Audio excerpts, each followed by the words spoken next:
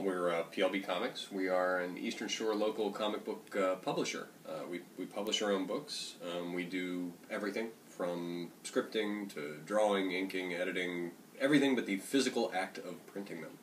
Um, and we have lots of contributors all, all over the world, but the, uh, the majority of the, of the footwork is, uh, is done by us.